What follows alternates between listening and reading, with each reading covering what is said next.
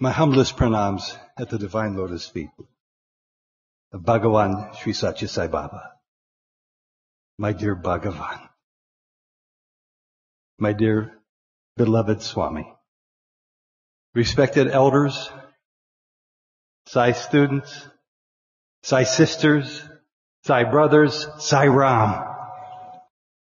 Merry Christmas everybody. It is such a beautiful, beautiful day. Joy to the world, the Lord has come. We, we are among the luckiest people on the face of the earth this Christmas day.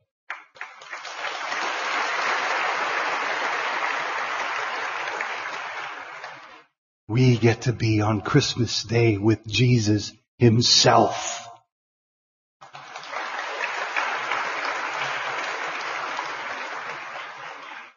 Two thousand years ago, for those of you totally unfamiliar with the story of our beloved Jesus Christ, Jesus walked the rugged earth of the Mediterranean with his followers, a very tiny ragtag band of followers who loved Jesus so very much. His mission lasted for just three short years. Just like that, it was gone. But for a long time, after he was crucified, accounts of his deeds, accounts of his actions and love spread forever by word of mouth for the first century alone. I heard the boys here this morning sing so vibrantly and so clearly. Jesus said, I and the Father are one. The one who sent me will come again. He's here before you now.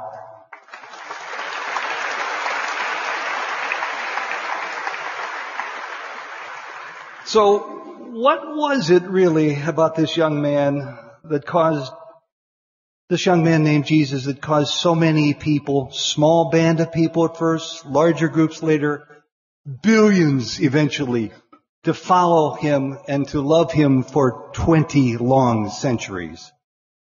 It was his message of peace and love, not unfamiliar at all to you.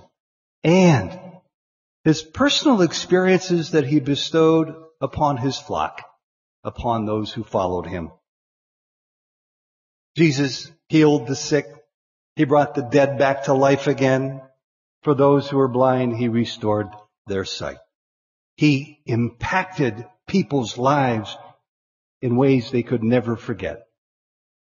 And 2,000 years later, he has come again. Our Lord God made manifest Bhagavan. Beloved Swami, you are not only the Christ consciousness, you are my Christ consciousness, to whom I turn for everything in my life. I am so very grateful.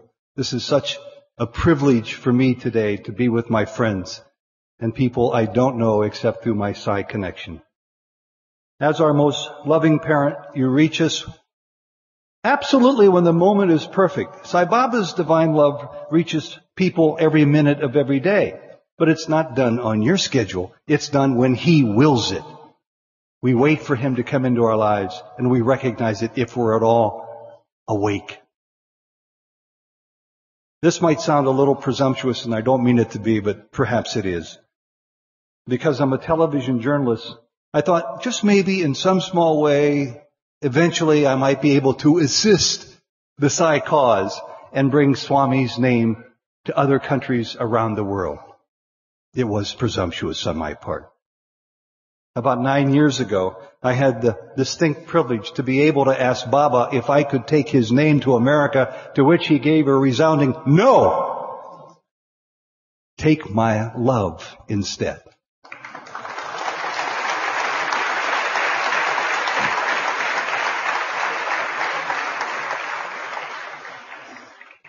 Even though Baba's name is now being spread here, there, and everywhere by his wonderful devotees, for me in that moment, at that time, that was the right message for me. And there's a reason for it. He wanted me to first become submerged in his love. I tasted his love. Submerged in his love is what he had in store for me. Back home in America, where so very, very few people even know how to begin the process of seeking true, heartfelt happiness in their lives. The seva that my wife Jody and I love to engage in is presenting Sai to the inquisitive. Many people in America have never heard his name or seen his form. We Sai devotees mourn that. There's a good number of people who have heard this much about Sai Baba, about Bhagavan. And even though they only have heard this much, they have an appetite that's that big to learn more. It is our privilege to be able to step in that gap. As well, we also do, as you heard, recording video interviews with Sai devotees, not just in Cleveland, Ohio, not just in Prasanthi Nilayam, but around the world. He has given that grace to us. It is our life's greatest privilege to share Sai this way.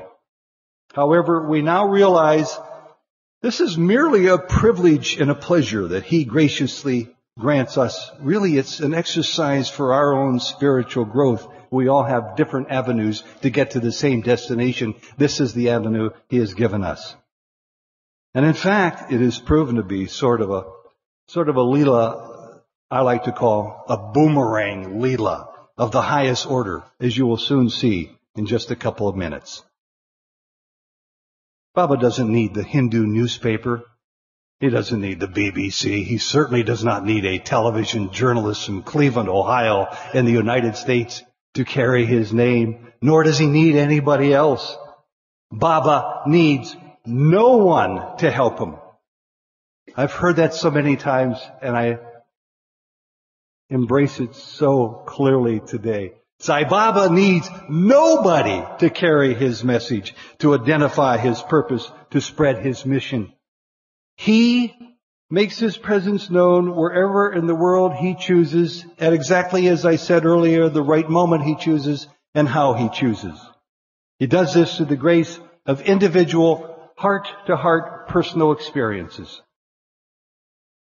Like Jesus, the son of a carpenter who was born in Bethlehem, Sri Satya Sai Baba gives each of us our own unmistakable experiences that awaken us from our very deep slumber. He does this for only one purpose, so that we may come to know what He is really here to give us. And of course, you already know the answer to that. Liberation itself through His unfathomable love. Just think of it. There's not a soul in this hall today, not a single one of you who does not have a story to share about how this avatar has entered his or her heart. Each story is unique. Each is miraculous and intimate, a divine romance that will outlive our bodies even. And it happens to millions of people daily the world over simultaneously. Swami has given me my latest personal example of this just this week. A woman friend of mine in America was very sick. She's 88 years old. She knows very little about Sai Baba, but she loves Bhagavan very much. She sent me a message here last week asking me to pray to Swami for her health, for a serious operation on her colon that she was going to be having this week. I did what any of you would naturally do. I quickly informed a Sai brother of mine. He got into his car. He drove many miles. He carried a small packet of Baba's Vibhuti to this woman's home in this woman's community after a several hour drive. The next day, Baba took a letter from me requesting his mercy for this woman. That night, the woman spread that vibhuti all over her abdomen. She went to bed. The very next morning she was healed. Surgery canceled.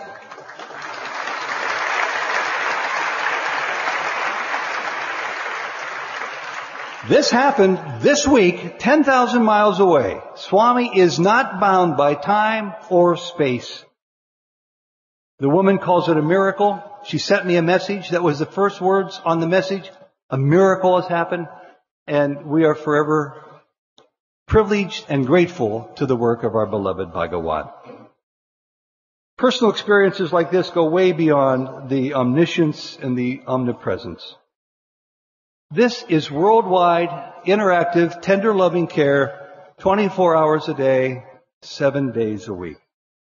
Who but God could create such unmistakable moments in so many people's lives?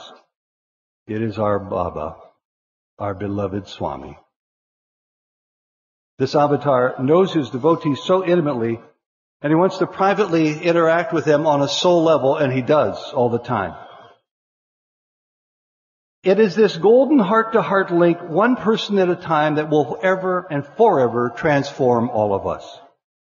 Sai Baba has showed his heart to heart connection clearly to us through his many and varied stories that, as I said, and you've heard, Jody and I collect while doing video interviews with devotees.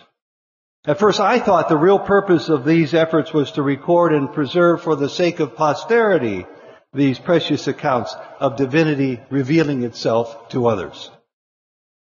That was a goal of merit all by itself. Why not save for posterity? If only we had saved the stories of Jesus' followers 2,000 years ago to the extent we're capable of saving the stories and preserving them forever of our beloved Bhagavan. That's what I thought at first. But that wasn't quite the reason. Swami's purpose, the real purpose, to transform this man who once he himself called a good boy, but a doubting Thomas into a trusting Ted. And he has succeeded. I was born under the astrological sign of the Libra. I'm a journalist. I guess I've been working at journalism for the better part of 40, 45 years. That's not necessarily a very good combination for people who really want to pursue the spiritual life, who want to come close to God. It's almost impossible, in fact. Libra, the scales of justice, journalists balancing both sides against the center, and on and on and on. We can never make up our minds. I've told people for 20 years I could never sit on a jury because I could never render a verdict I'm incapable of doing so. And when it comes to my own spiritual life transformation, I found to my sadness the same was true for so long. It is not in my nature to be fully convinced or committed to anything because I always tend to see every side of every story and every spiritual element and even of the holy of most holies. For many years I tried to suspend judgment to be primarily a witness and observer to what I saw even happening here before my very eyes in Prasanthi Nilayam. This is maybe our 14th visit here. And for many of those years, I came still as a journalist, still as a Libra. Thank God those days are over. But our beloved Swami is so very clever. First he hooks you and then he cooks you. He has cooked me so very well, slowly, sweetly, allowing me to do my Sai devotee video work for all these years, even though I really didn't know what he was up to. There was more there than met the eye, only for me to find out at a later time. In fact, after 11 years now, we've recorded well over a hundred. And I've got to say this because it's true. It's not me. It's the people we talk to one hour long, magnificent stories from loving and holy and spiritually transformed human beings who love Bhagavan. Swami has allowed us to learn at the feet of his apostles and disciples. But here's the surprise. Here's the boomerang Leela I alluded to a couple of minutes ago. I thought I was collecting these stories to show to others to be used as a tool to change their lives, especially people in the middle. I thought it would help change their lives. But all the while, and it brings a smile to my face because this is not an old discovery, it's relatively recent to me. All the while, unbeknownst to me, Baba was using these same stories told to me, which I was recording year after year after year to change myself, to change me. And it happened. Time after time, devotee after devotee told me the most amazing stories of our beloved Bhagavan. I heard their words. I saw their tears. I felt their love. I tasted their passion. And I too was changed. Who did this to me? How could such a thing ever happen? How on earth could a 63 year old man set in his ways, whose heart was encased in a cage of rigid steel, be pierced by this form of love? I've prayed for it my whole life. I knew what I was up against. I know how stubborn I am. I know how much of a journalist Libra, etc., etc., etc. And I never thought this heart would be pierced. Thanks be to God it has been. I know how, and so do you.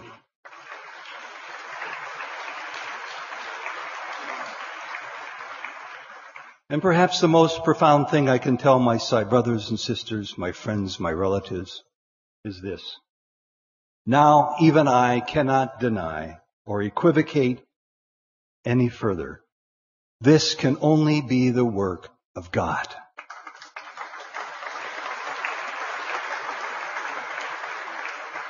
As Jesus was once with us 2,000 years ago, God is here again with us now, our beloved Bhagavan. Beloved Baba. Beloved, dear sweet Swami. We are filled with your gratitude for the many endless experiences that you give to us all. Continue, please, to be the presence in our lives, whether we live inside the ashram with you, as many here do, or outside the ashram, way over there on Samadhi Road, or 10,000 miles away in a place called Cleveland, Ohio, where I live. You melt my heart, Swami. And I know you melt the heart of everybody here. But you melt my heart when you make me so vividly aware of your devotees who have been touched by your divine hand. Beloved Swami, we are all most grateful for the continuous personal experiences that you provide for us all. They are the engine that drives us towards our heart's transformation. To some of the people, you give personal experiences by coming into their dreams. I wish you'd come into my dreams more. I vividly love your presence, but it's only about once or twice a year. For some people, you help us with our leelas. On that score, you give me plenty of favor, and I'm very grateful. To some people, you give personal experiences by talking sweetly into their ear. To other devotees, to other people, you give personal experiences by allowing a book to fall on them. Sometimes you allow a book to fall right on their head. They're books they need to read. How many stories have we recorded from people who have had exactly that Leela happen to them? The book that changed their life was the book that fell on top of them one day when they were least expecting it. And still others experience your presence through outright miracles as my friend, my wonderful friend Harriet Freeman in Galion, Ohio did this week. Dear Swami, we followers who are discovering your divine hand in our lives are all of us here. The Russians, and there's so many of you here, the Indians and Nepalese and English and Africans, you who are Italians and Brazilians and all the rest of us here. We devotees go back to our homelands changed people. As our hearts are transformed, in almost all cases, our actions are transformed. And as others slowly to begin to recognize this, the pathway to more and more hearts opens to love. Beloved Swami, you have taught us so very well. Let us all always remember to be grateful. Let us all always remember what you tell us over and over again. Be happy. Be happy. Be happy. Let us pray.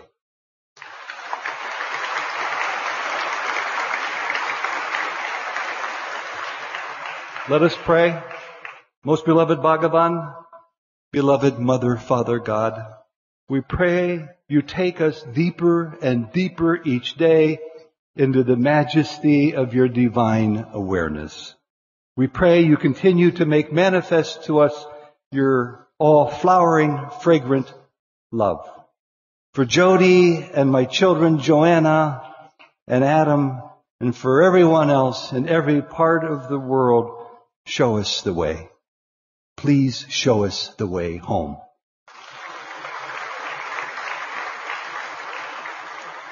And finally, awaken us from this dream so that we may become more aware of our oneness with you. Sairam, Sairam, Sairam.